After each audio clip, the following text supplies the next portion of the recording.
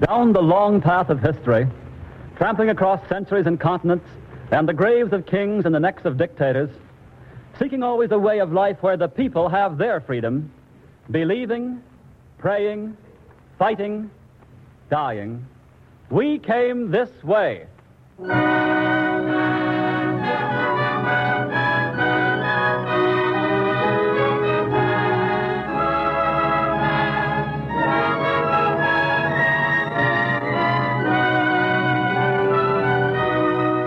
The NBC University of the Air, a public service feature of the National Broadcasting Company and its affiliated stations, presents We Came This Way, a new historical series for our listeners at home and overseas. With Clifton Utley as narrator, we present Chapter 9, the story of Leon Gambetta and the birth of a republic on We Came This Way.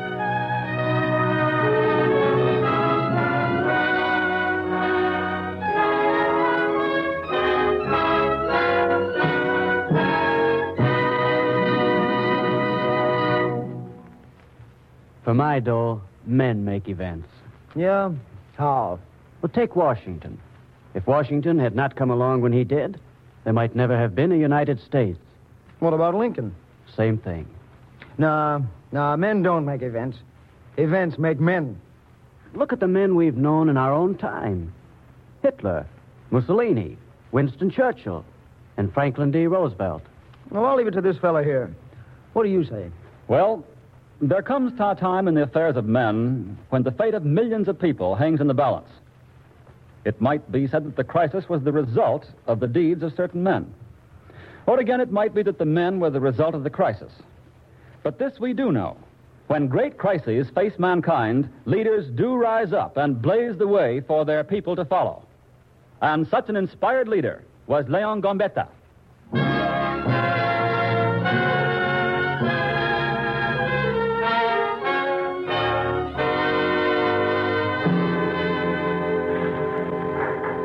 People of Paris were wakened in the early morning hours of December 2nd, 1851, by artillery and rifle fire sweeping the streets. During the night, Louis Napoleon, who was then president, had overthrown the Second Republic with a sudden bold stroke, created the Second Empire, and made himself the emperor. I can hardly believe it. He is mowing down the people in the streets, Dr. Baudin. I talked with him late last night, and there was no hint of this. His soldiers seized the assembly hall first thing, just after midnight. We must arouse the workingmen. Yes, they will stand with us against him. He will arrest us, all of us deputies on sight. We must tell the workmen what has happened. We must go out into the streets and tell them the truth. Lead the way, Baudin, and we will follow. Next day, the small party of deputies threw up a barricade in the Faubourg Saint Antoine. Baudin, with the Constitution of the Second Republic in his hand, climbed atop the barricade, which consisted of an overturned omnibus and several carriages. Your rights, the rights of you, the people, have been crushed by the act of this despot, Napoleon III. The troops! Napoleon's troops are coming! They are well armed, Baudin. We cannot retreat. People, your assembly, the members you have elected to represent you under the law, has been dissolved. I ask you to rise. For what? To die to help a member of the assembly like you keep your daily pay of 25 francs? Wait a little and you shall see how a man can die for 25 francs. I hold here in my hand the text of the most precious document of France, the Constitution. Louis Napoleon has destroyed this Constitution, which he has sworn on oath to maintain. Let me read from it. Let me tell you your rights under this Constitution. Baudin fell with three musket bullets in his skull and died there in the street with the Constitution of the Second Republic clutched in his hand. With Baudin died the Second Republic, but the will to be free still lived in many Frenchmen. Seventeen years later, in 1868, three editors in Paris opened a subscription to erect a memorial to Baudin. They were arrested and brought to trial, charged with inciting hatred and contempt of Louis Napoleon's government. It is not the editors who are on trial. It is the empire of Louis Napoleon. That is what the discerning one said. And defending one of the editors was a young attorney named Leon Gambetta. Gambetta? Which one is he? I do not know. Perhaps that bulky one there, with the beard and one eye. Gambetta? Yes, I have heard the name. Soon, Gambetta's name was to be known to every Frenchman and to people far beyond the seas and would endure for centuries to come. Masterfully, he presented his case. By the time he was ready to make his final plea, The people in the courtroom were roused to tense expectancy. Ah, he is not just a man, this Gambetta. He is a force. And he is only 30 years old. 30. He looks 50. It is that beard and his great size. Why have we never heard of him? They say he was born in the South, the son of a grocer, and he has only recently come to the attention of the court. Gambetta fixed the court with his overwhelming presence. Listen! For 17 years now, you have been the absolute discretionary masters of France. It is your own word. We will say nothing of the use you have made of her resources, of her blood, of her honor, and her glory. But there is one fact that is your most complete condemnation. You have never dared to say, we will celebrate December 2nd as one of the solemn festivals of France. We will make it a national anniversary. No. And yet, all of the regimes that have followed one another in this country have honored the day of their birth. July 14th and August 10th were made festivals.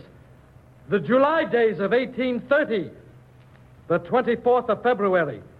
Only two anniversaries, the 18th of Brumaire and December 2nd, have never been raised to the rank of solemn commemoration.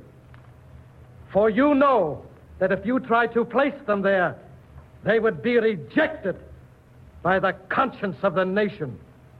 Very well, then. We claim this anniversary, which you would not keep. We take it for our own, and we shall celebrate it always, unceasingly. Every year it will be the anniversary of our dead. Until the country shall once more be master and shall subject you to great national expiation in the name of liberty, equality, and fraternity. Ah, Solicitor General, you shrug your shoulders. Do not imagine that I am afraid either of your scorn or your threats. Yesterday, at the close of your address, you said, We shall take precautions. Do you, Solicitor General, dare to say you will take measures? What measures will you take? Is that not a threat? Well, then listen. This is my last word. You can strike us, but you can never dishonor us nor beat us down.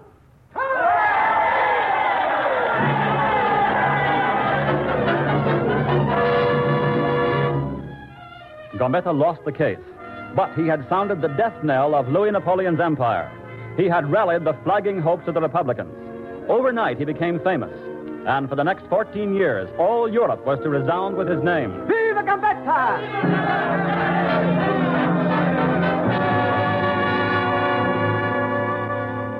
The Republicans had found a champion, a dynamic, eloquent, fearless champion. The next year, 1869, he was elected to the Chamber of Deputies, and Louis Adolphe Thiers immediately saw his value. The very fact he was elected establishes him as a symbol of justice in France. But now France was facing war. Bismarck was in power in Prussia. He is trying to provoke war with France, Monsieur Thiers. Yes, and the Chamber of Deputies is playing into his hands. You and I alone, Monsieur Thiers, of all our parties, stand against war with Prussia. Yeah, the question is, can we prevail? Sooner or later, war must come. But we must not permit Bismarck to provoke us into it. France must clearly be proved to be just in the eyes of the world. Then we shall have the support of the world against the Prussians. In Paris, the mobs railed against the insults of Bismarck. But in the provinces where Gambetta had come from, there was no clamor for war. But on July 19, 1870, it came. And as vigorously as he had opposed war, he now supported it. We shall beat them! We shall beat them! Emperor Louis Napoleon and Marshal MacMahon were march- marching on Chalon-en-Sedan, and one of France's two armies. In Paris, Gambetta was working with infectious enthusiasm. We shall beat them! We shall beat them! On September 1st, 1870, word came back to Paris that Louis Napoleon and Marshal MacMahon and their army had made contact with the Prussians, and a battle was underway at Verdun. The next day, the news of what had happened struck Paris and the Chamber of Deputies like a thunderbolt. Prussians have crushed us at Sedan. Louis Napoleon and Marshal MacMahon and one of France's two armies have been captured. While the Chamber of Deputies sat in session, the crowds in the streets went wild with excitement. The mobs are gathering in the approaches to the building. The empire of Louis Napoleon was tottering. The emperor was a captive, and one of his marshals and one of his armies were captives. Jules Parmentier and other strong men of the Chamber of Deputies made proposals. The time has come to overthrow Louis Napoleon and his entire dynasty. We must convoke a constituent assembly. We must set up a provisional governing commission. Back there. Stand back behind that grill. The chamber is in session. Stand back there. The street mobs have broken down the grill and are pouring into the gallery. My people! My people! My people! The first condition of the people's emancipation is order. I know you are resolved to respect it. Gambetta addressed the people in the gallery. You desire to give an energetic expression to your wishes. Your wish is in the depths of every Frenchman's heart. It is on the lips of your conscience. We want a republic! Viva republic! My people! My people, pray be calm. Order must be preserved. We have two things to do. First, to resume our sitting and act in accordance with authorized forms. And second, to give the country an example of real union. And with Napoleon! We want a republic! There is a solemn pledge. There is a solemn pledge that you must give us. That you will allow us to deliberate in perfect freedom. Help! Help! They're trying to break down the door into the chamber. Get back! Get back! Stay out there! The howling mob swarmed into the chamber like a tidal wave. Gambetta stood like a rock against them. In the name of France, you must be calm. Have you no confidence in us, your elected representatives? Yes, yes, we have confidence in you. But what about the republic? Citizens, citizens, listen to me. Since the country is in danger, since sufficient time has been given the representatives of the nation to depose the dynasty of Louis Napoleon, since we here constitute the authority sanctioned by your popular vote, we here and now declare that Louis Napoleon and his dynasty have forever ceased over.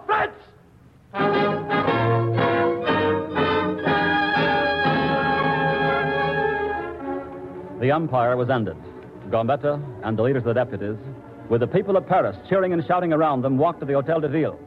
And there, Gambetta proclaimed the Republic, the government of national defense, and he became Minister of the Interior in it. Louis Adolphe Thiers became president. And it was to him that Gambetta went with the plea that the government move away from the imminent danger of capture by the Prussians. Let us be realistic, Monsieur Thiers. The Prussians are advancing on Paris. It is questionable that we can hold Paris, but we can win. Monsieur Gambetta, if we leave Paris, there will be revolution. The government must stay. But there is need in Tours for a member of the government of your capacity, Monsieur Gambetta. The government asks that you, as Minister of the Interior, go. No. I feel strongly that the government should move. But if it stays here in Paris, then I should be here. Paris is the post of the greatest danger, and therefore of the greatest honor. I shall stay. But, Monsieur Gambetta, it is of the greatest importance to the government that you go to. The members of the government argued with Gambetta for days. One of France's armies had been captured at Sedan. The second, surrounded at Metz. Yet no thought that France could lose the war ever entered Gambetta's head. It was not until Paris was completely surrounded by Prussians that he would agree to leave for Tours to carry on the fight. But uh, how will you get out now? I will get out. On October 7th, 1870, Gambetta with an undersecretary and a pilot climbed into a balloon at the Place Saint-Pierre at Montmartre. Are you ready, Monsieur Gambetta? I am. Hold on. Cast off the lines. Stop the line! Let me go! Let me go! Let me go! Let me go! The balloon rose quickly from the field. The breeze is southeasterly. That will carry us over the line of Prussian forts, will it not, pilot? Yes, it will. It does not matter. The balloon rose to an altitude of 2,000 feet. The Prussian advance guard is firing at us, Monsieur Gambetta. Yes, with artillery.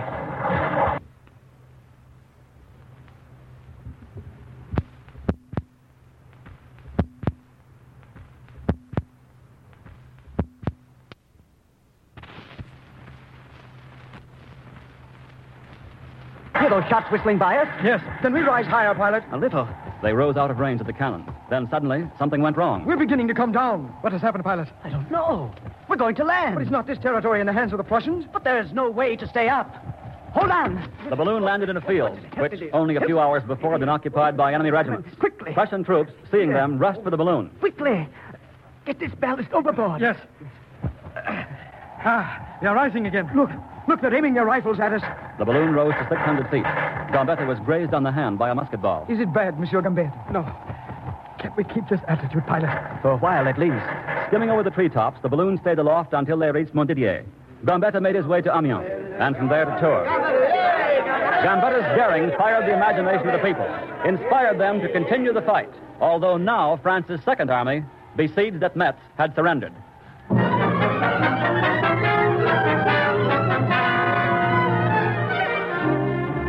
We can still win. We will make this a war to the finish. War to the finish! Yes, war to the finish! War to the end! No, no, they've captured both our armies. They've captured our marshal. What can we do? We will raise a new army, and we will fight the Boche and beat them.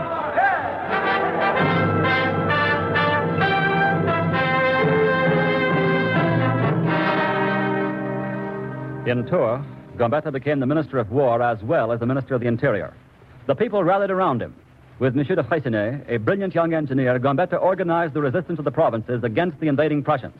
Not only must we raise an army de Freycinet, but we must find generals. We will find generals. Inspired with the spirit of freedom, the two worked together. De Freycinet working out the details, and Gambetta stirring the hearts of his people with his glowing eloquence. Let us sink all individual interests. Let us sacrifice all personal sentiments to the one thought the salvation of France. Then we shall beat back the enemy. France will be saved, and the Republic will be permanently established. Out of thin air, under the commanding leadership of Gambetta and de Freycinet, a new French army materialized. Monsieur Gambetta. Monsieur Gambetta. Yes, what is it? We've defeated them at Coulmiers. The dispatch has just come. Ah, we have turned the tide. We will beat them. We will beat them. We have raised an army of 600,000. But the crushing power of the Prussians is drawing in on Paris. If Paris can hold out, we shall be able to lift the siege. We have made a start of Freycinet, and now we shall win. Paris was in the grip of the enemy, but under the direction of Gambetta, most of the rest of France was still resisting. Paris has capitulated. What? Yes, the government surrendered yesterday. It is impossible. France cannot capitulate. We will continue the fight. Can we continue after the government in Paris has... By what presumption does Paris dare to surrender for the provinces? Paris is not France. No, we will continue the fight. We will fight to the finish. We will beat them. The Prussians were in Paris. But Gambetta, in the provinces, raising and organizing and equipping and training his army of liberation, would not yield. At length, Jules Favre, vice president, came from Paris to prevail upon him. If you love France, you will yield. If you do not yield, there will be civil war. Alone, without allies, without leaders, deprived of communication with their capital, Gambetta's army of the Republic had resisted five months against a powerful enemy which the regular armies of the French Empire had not been able to hold back for five weeks. Gambetta gave in. Monsieur Gambetta, you are ill. France has fallen. You must care for your health now while there is still time. France has fallen. It is impossible. Gambetta had all but spent himself. He resigned and went to San Sebastian in Spain to fight for his health. And now the people of Paris, penniless and hungry, many among them disarmed French soldiers, stood by and watched the Prussians march in. For this, we have to thank our government. And now the government is coming to sit at Versailles. Adolphe Thiers and his lick-spittles are coming to sit at Versailles. Ah, I heard it today. Never. Adolphe Thiers is sympathetic to the return of the monarchy. Never will France have another Louis XIV. We must see to it that Adolphe Thiers and his assembly never have the opportunity to oppose it. Adolphe Thiers, in February 1871, had been elected by the National Assembly as Chief of the Executive Power of the French Republic. The Assembly was to convene at Versailles on March 20th. But two days before that, the Commune broke out. We demand the arrest and trial of the members of the government of national defense. Bring to justice those responsible for the dishonor of France. The rank and file became a lawless mob. The newly created republic, born through bloodshed and suffering and national disaster, balanced on the brink of destruction. Troops were sent to seize the guns of Montmartre and to put down the riot. In the name of the Republic, I demand that you give up your guns and disperse. Surround the troops! Surround the troops! Take the firearms from the soldiers. We will need them. Fire at the revolutionaries! Fire! Instead of firing on the communards, the soldiers joined them and arrested their own commander. In the name of the Republic, I demand that you... The commander fell. riddled with bullets. The army forces of Paris were in rebellion against the government.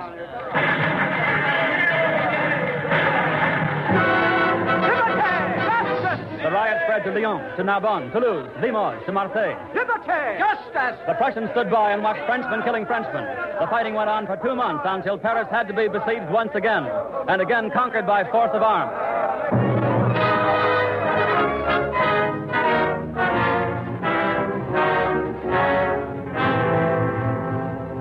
Gambetta was ill in Spain.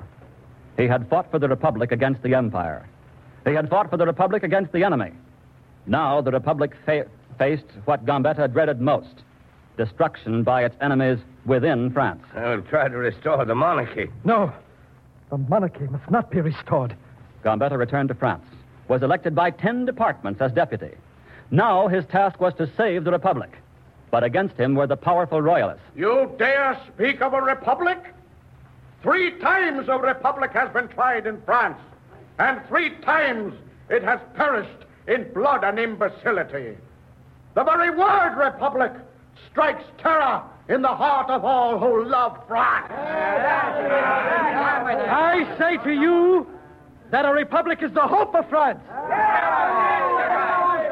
There can be no peace and no order until all classes shall have been given a share in the benefits of civilization and can regard the government as the legitimate offspring of the sovereign power of the people. The republic means placing public affairs into the hands of fanatics ready for any violence.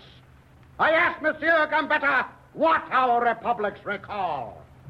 The First Republic recalls the reign of terror. The Second Republic recalls the bloody June insurrection. And the Third Republic recalls more brutally than we can ever forget the bloody and disgraceful Commune. The Republic stands indicted before the world. Citizens, does France desire to forswear her right to constitute herself a free country? If there is anything to console us amid the sorrow and the shame of our bereaved country, it is the thought that the mothers and patriots of France will supply her future champions and avengers. We must establish once and for all a government founded on that equality of rights and duties which recognizes no other distinctions between man and man than those arising from character, intelligence, and energy in the battle of life. A republic? Yes! I call upon all parties and the masses who are of no party to support the republic. And I ask you, do you wish to rule the republic? Then recognize it first. When you have recognized it, then we shall be perfectly ready to admit you to the conduct of its affairs. The Republic was saved, but only for the time. Gambetta became the defender of the young Republic against all who threatened it. Vigilantly, he guarded against all reactionaries, against both royalist and imperialist. He watched the fall of the government of Louis Adolphe Thiers, the rise to power of Marshal MacMahon, who in 1870 had been captured with the first French army and with Louis Napoleon at Sedan. When President MacMahon undertook a coup d'etat to turn the Republic over to the royalists, Gambetta squarely opposed him. What kind of republic do we have when a president can dissolve a legislative body like the Chamber of Deputies because it is Republican and he is a sympathizer with the Royalists and the Imperialists? We have a Senate and a Chamber of Deputies to preclude the very thing that President MacMahon is trying to do. Yes, but the Senate is anti-Republican. But the Chamber of Deputies is not. No, but it is too late to stop the president from dissolving the chamber. That he has already done. His plot is to elect a new Chamber of Deputies, which is anti-Republican. And with both houses anti-Republican, and with a reactionary president like MacMahon and his reactionary ministry, the Third Republic today faces its gravest crisis since it was born in the blood of 1870. What can we do, Monsieur Gambetta? We can oppose President MacMahon, and that we will do. I say, I say, let us take our places on the legal ramparts of our Constitution and fight with all that is in us. MacMahon must not succeed. The 363 Republicans of the dissolved Chamber of Deputies united to support the re-election of one another. They gave charge of their campaign to a committee of 18 under the inspired leadership of Gambetta. When the sovereign voice of France has spoken, they will have to give in or give up. That is lese majesty. You are speaking of the head of the French government. Gambetta was arrested, tried, sentenced by default to three months' imprisonment and a fine of 2,000 francs. We should never have arrested Gambetta. The trial and sentence have done President MacMahon's government as much harm as Gambetta's speech did. Gambetta will not have to serve the sentence. But the damage was done. Gambetta and his committee toured the nation and told the people in what jeopardy the Republic stood because of MacMahon's attempt at usurpation of power. The Republicans win! The Republicans win! We have won back control of the Chamber of Deputies. A tyrant can turn us out, but we have been returned by the people.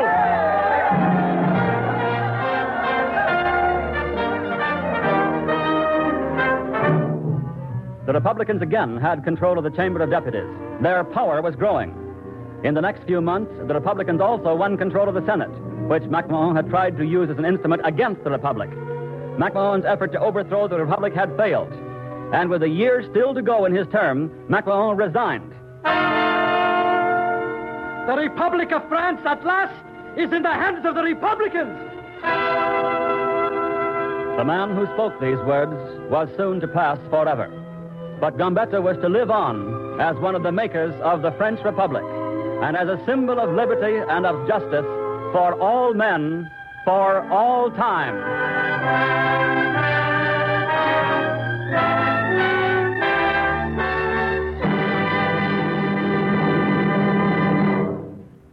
Would you like to know more of the life and times of Leon Gambetta, portrayed in the program you just heard, or other men like Tolstoy, Hugo, and Whitman?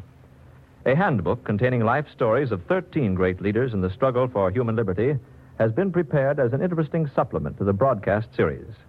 To obtain your copy, write for We Came This Way. Address your requests to Columbia University Press, Station J, New York 27, and enclose 25 cents in coin to cover costs of printing and mailing.